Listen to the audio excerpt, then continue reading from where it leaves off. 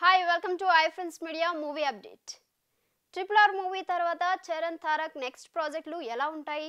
ఎప్పుడు వస్తాయనే చర్చ ఇండస్ట్రీలో ట్రెండ్ అవుతూ ఉంటుంది.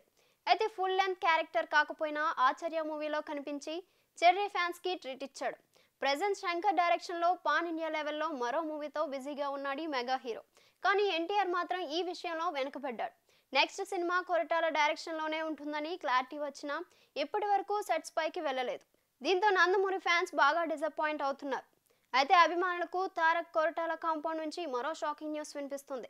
ఈ సినిమా సెట్స్ పైకి వెళ్ళడానికి మరికొంత సమయం పడుతుందని ఫిలిం సర్కిల్స్లో టాక్ నడుస్తుంది.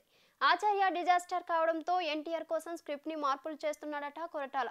కథలో కూడా మార్పులు చేస్తున్నాడని తెలుస్తుంది. దీనికి తోడు ఎన్టీఆర్ భుజం నొప్పితో బాధపడుతున్నాడని తెలుస్తుంది. నాలుగు వారాల పాటు రెస్ట్ తీసుకోవాలని డాక్టర్లు చెప్పారట. దీంతో ప్రజెంట్ ఈ నందమూరి హీరో రెస్ట్లో ఉన్నాడు.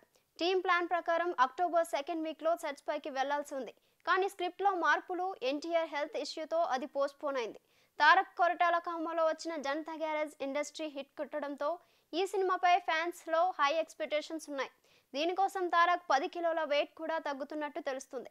కొత్త మేకోవర్తో ఎన్టీఆర్ కనిపిస్తాడని ఫిలిం నగర్ టాక్. మరి ఈ క్రేజీ ప్రాజెక్ట్ ఎప్పుడు స్టార్ట్ అవుతుందో చూడాలి.